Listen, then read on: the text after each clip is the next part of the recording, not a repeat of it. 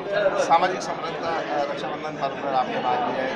किस तरीके का रक्षाबंधन पर्व मनाया? देखिए हमारे मित्र साथी दीपक जैन जी जो सार्थक संस्था चलाते हैं बहुत सारे ऐसे काम करते हैं जो समाज में आज आवश्यकता है। चाहे युवाओं के लिए बहनों के लिए माताओं के लिए हर प्रकार का वो सार्थक संस्था कार्यक्रम करती है। उसी के अंतर्गत आज रक्षाबंधन का कार्यक्रम किया गया है और इस बा, इस बात की विशेष ध्यान रखा गया। आज हमारी वाल्मीकि समाज की बहनों ने हम सबको राखी बांधी।